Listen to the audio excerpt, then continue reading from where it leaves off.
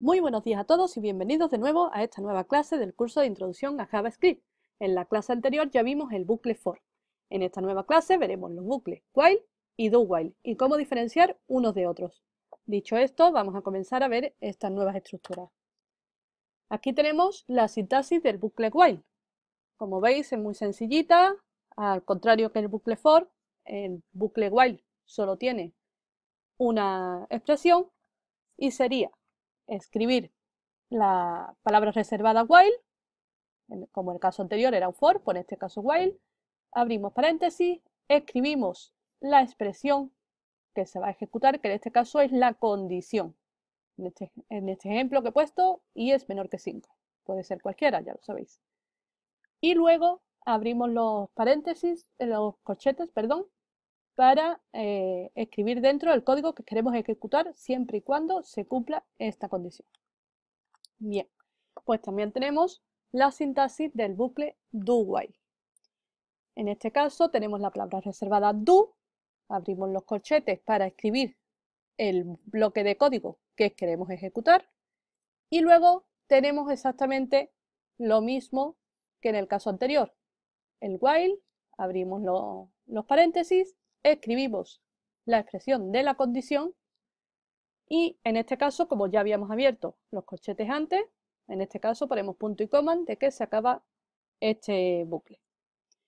¿Cuál es la diferencia de uno y otro?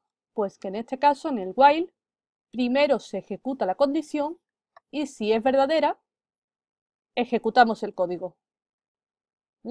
Como en el caso del bucle for. Y en el do while, primero ejecutamos al menos una vez el código y luego comprobamos si la condición se cumple. Bien, esto lo vamos a ver ahora más sencillito en un archivo, como siempre. Voy a prepararlo para que lo veáis. Empezamos, por ejemplo, con el bucle while. Vamos a poner el mismo ejemplo para que veáis las diferencias de uno y otro. Es igual a 1 y mientras y sea menor de 50, menor o igual de 50, se va a ejecutar el siguiente código. En este caso, document.write, ya lo vimos en el anterior, y mostramos el valor de i. Aquí ya sabemos que es una variable, si queremos poner var. Y además vamos a poner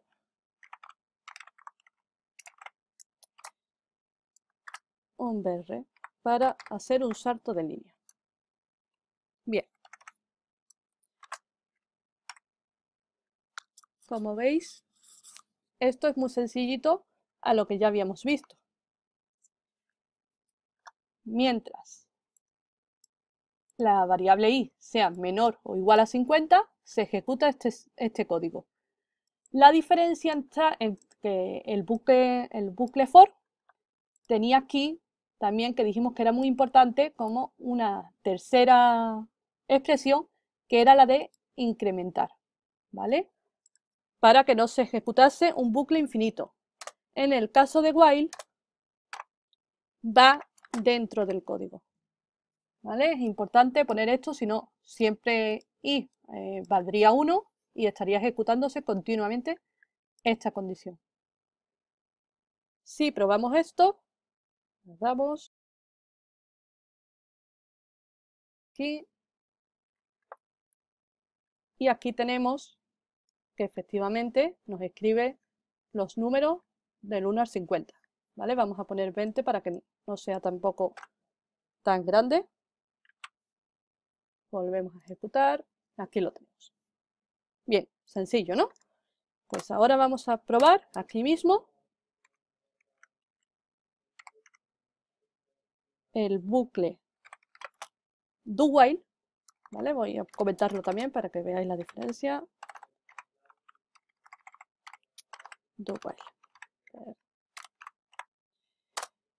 y vamos a poner que la variable i es igual a 1 Vamos a ponerlo exactamente igual. Entonces, vamos a copiar esto de dentro. pegamos, pero en este caso cambiamos las Y por las Y. Y aquí ponemos la condición, que en este caso también lo podríamos copiar. ¿Vale? Copiamos, pegamos. Bien, ahora le estamos diciendo, ejecuta estas líneas de código mientras y sea menor o igual a 20. Y ahora es importante que veamos esto de... Mm, aquí estamos incrementando el valor de, de y. Pero aquí estamos diciéndole antes eh, que y va a ser 1. Entonces, en este caso, aunque veáis que la condición se cumple después, no va a mostrar aquí eh, que sea igual a 2, ¿vale? Porque aquí todavía es igual a 1. Como ya sabéis, esto va ejecutándose línea a línea, ¿vale? Guardamos esta parte, ejecutamos. Vale, ah, claro, hay un fallo, pero mira, me sirve de ejemplo.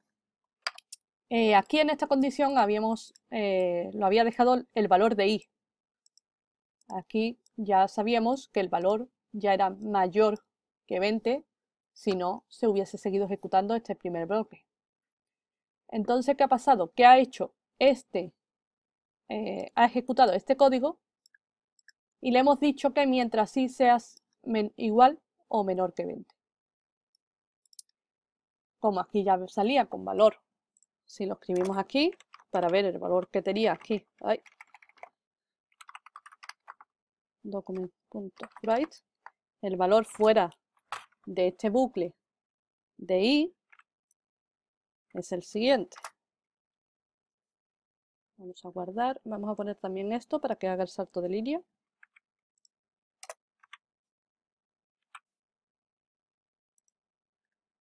Aquí tenemos.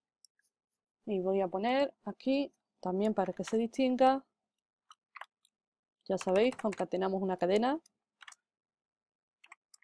El valor de i ahora es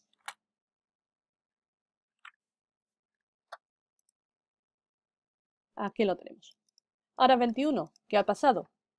que aquí cuando hemos hecho el do while ha entrado en el do ha ejecutado este código una vez, ha mostrado, ha mostrado el valor de, de Y, y luego es cuando ha comprobado esta condición. ¿Qué pasa? En este caso 21 no es menor o igual a 20, así que solo se ha ejecutado una vez. Si nosotros escribimos aquí la Y, vamos a comentar estas dos líneas, ahora sí bueno, mira, voy a dejar esto para distinguirlo, para que haya un espacio más entre uno, entre uno y otro. Ahora sí va a volver a escribir los números del 1 al 20. Aquí lo tenemos. ¿Vale? Si en este caso, ya sabemos, si aquí fuese 21 y aquí 21, while no se ejecutaría ninguna vez. Sin embargo, el do while si se ejecutaría una primera vez. ¿Vale? Primero se ejecuta y luego se comprueba la condición. Volvemos a comprobar y como veis, no ha, este no ha mostrado nada. Si queréis también lo ponemos.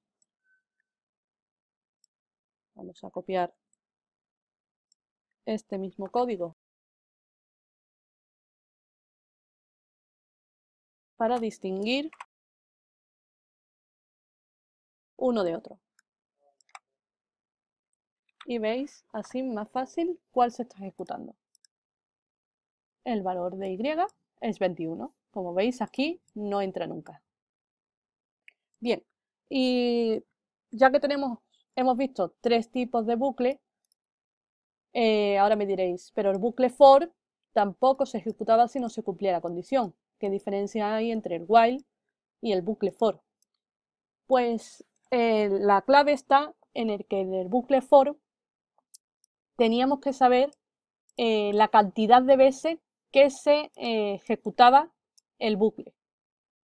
En este caso, en el bucle while, da igual el valor que, que, nos haya llegado, en este caso es que lo tenemos aquí la variable, pero podríamos comprobar una variable que nos llegase de otro tipo de bucle y aquí no tenemos que saber cuántas veces se va a ejecutar.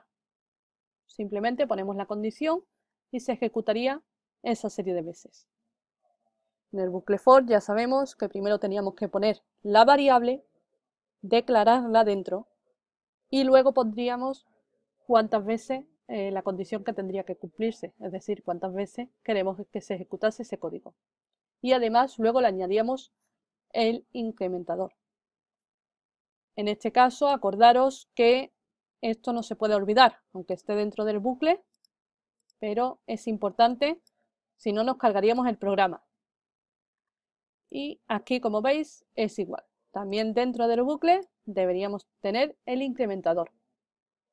Bien, pues dicho esto, lo dejamos ya por hoy, nos vemos en la siguiente clase y ya sabéis que siempre digo que lo practiquéis mucho. Así que nos vemos. Adiós.